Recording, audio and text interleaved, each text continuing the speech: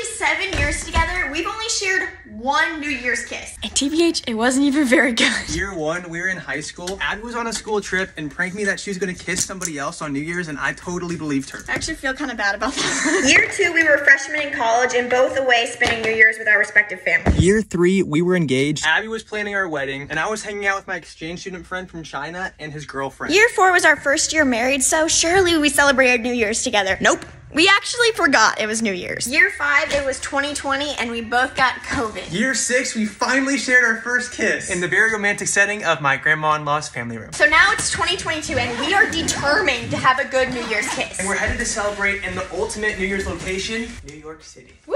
Maybe we should practice a kiss so we don't screw it up this year.